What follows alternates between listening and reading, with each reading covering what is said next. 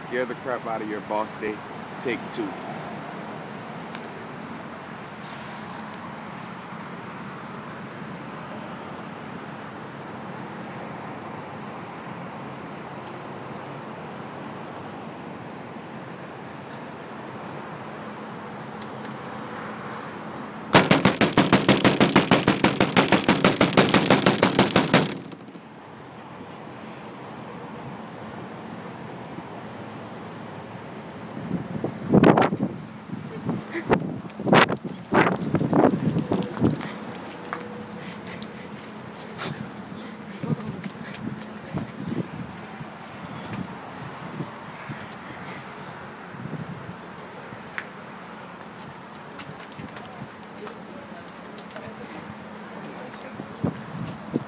go that way.